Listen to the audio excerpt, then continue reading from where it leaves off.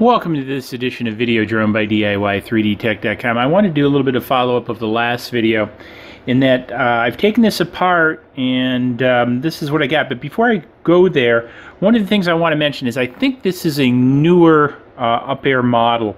And one of the things that was a little bit different in disassembly was I had to take out obviously the um, two screws inside here which are Phillips head and then obviously four on each motor um, and then I had to take out the ones on the lights, but also instead of having them in the hole, or at least that's what I understood from some of the videos I watched, it was the inner, si inner side ones um, inside the landing legs I take out. So you notice that there's uh, going to actually be a short and a long one.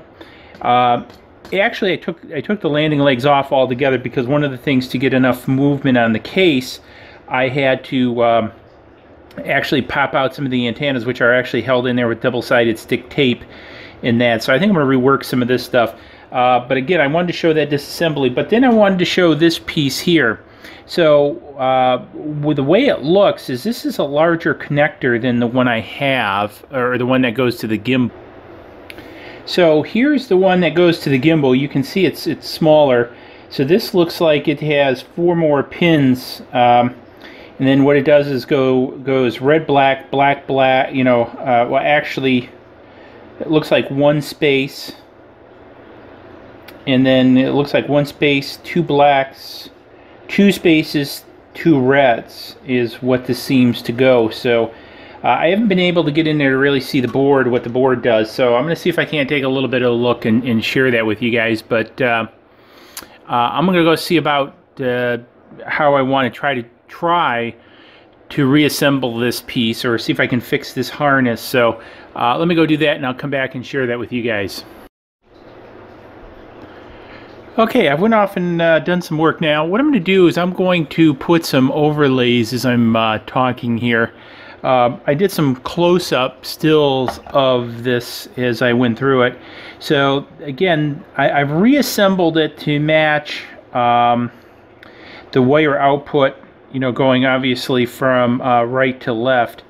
And what I did is I put some tape over the opening and used hot glue to kind of um, bind the side together. Now, the way it looks is this this particular uh, connector actually goes directly to the transmitter. And so there are three pins here. So obviously, you know, two are power, uh, one is signal and this is obviously the transmitter for the uh, uh, unit, so for the FPV uh, component. So there's this other one, because remember I showed three connectors on this. So we had these two and then the big one which broke.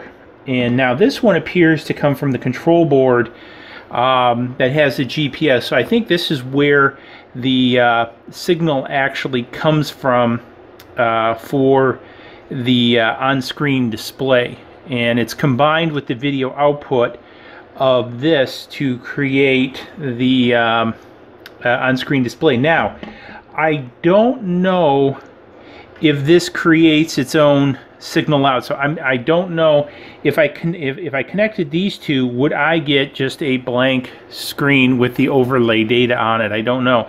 Probably be an interesting experiment for the future because this the inside of this is seems to be wholly different than um, the other up here is because one of the things that you see here, the motors are directly connected to the uh, motherboard, if you will, or the control board, uh, the ESCs or whatever they're called. There, there's none in here, as I've seen in other copters. In this section, there there were those uh, controllers for the brushless motor. This doesn't have it. The actual uh, controllers for the brushless motor are actually on the motherboard itself uh, in here. So again this appears to be wholly different also I'll put an overlay on the screen uh, of the um, the serial connector, if you will. This does not have a USB connector inside of it. It does, however, have what looks like a serial connector of some sorts, uh, sort of like uh, what the Nano Arduino has. So I don't know if this is controllable in that fashion or it's just a, a USB wannabe. I, am not sure about that, but it is wholly different from what I've seen uh, elsewhere on the internet. So this is quite a big difference. Um, the other piece, though, as I've been doing this, I actually wrote UpAir and said, "Hey, look it, um, I have this problem you know, where do I get one of these cables? And they said, mm, well, the only place you get it from is China. How about we ship you one? And I, man, I tell you what, I thought that was great.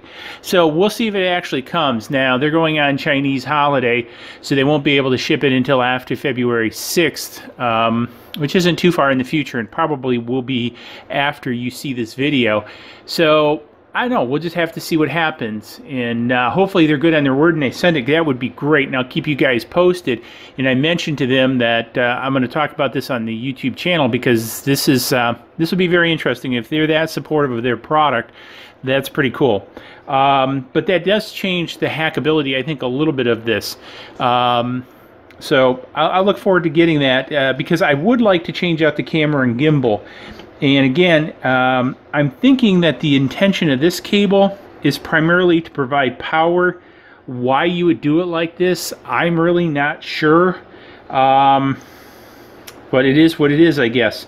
So because because I'm thinking that uh, you know since there's three lines coming out, that you have um, what it's doing is is a power for power for the motors and power for the camera, you know, one, two, three, uh, and that there's some kind of logic because obviously something has to come from the controller board down to tell the gimbal the orientation.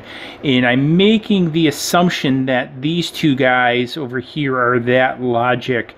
And then these two are just the motor power. Where is the camera getting the power maybe it's uh, borrowing it from the motors uh, but why would you run two motor separate motor leads unless because of the current draw? I don't know. I'm just simply speculating.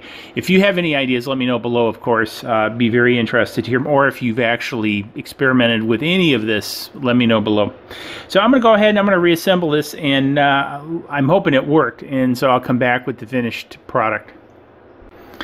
Well, here we are back. So bad news. I guessed wrong. So uh, I went and just kind of halfway reassembled it and plugged this back in and I got a puff of um, magic smoke. So the magic smoke left the box. I can't quite figure out what popped in here. Um, because one of the things too, as I mentioned, uh, they're uh, what ECSs or whatever. Usually, it's a little controller that sits between the motor and the control board. This is actually built on the control board, so uh, in this version of the UpAir 2, the motors are wired directly to the board, so you actually have to unsolder this to get the motors to come out.